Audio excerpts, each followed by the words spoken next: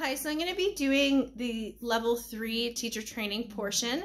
I'm going to be breaking this up into two um, sections because I need to spot somebody for the helicopter and for the basic invert. So um, I'm going to do the first section on my own. The first one will be climb to sit. I have already done the reverse um, grip in my last video. So when you're climbing, what you want to do is place your dominant leg in the front. You can do both sides, but to start, we'll do our easiest side. So I'm bringing my right hand up. I'm going to bring my um, dominant leg up. I'm going to go into a baseball hold, put my other leg in front, and then climb. Okay, so again, you're going to wrap this leg, your left leg around, and this leg in front, and you're holding on with your thighs to pull yourself up.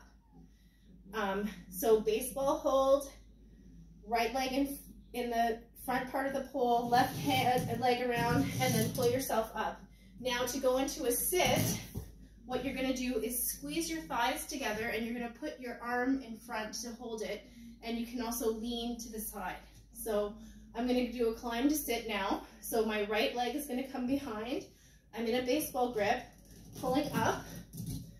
I'm going to bring my legs in front, lean to the side to sit, bring the arm out and hold, just like this.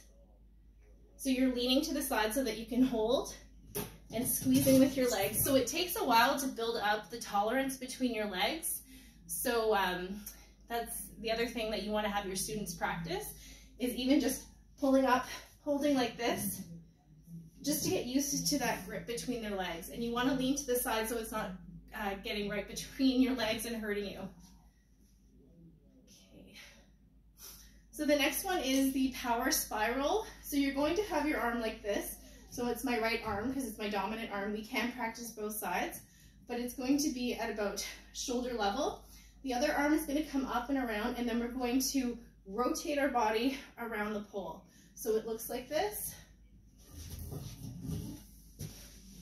And you're bringing your knees and your, your body around, so it's tracing the pole as you're coming up. So you're using that momentum as you jump up and turn around the pole.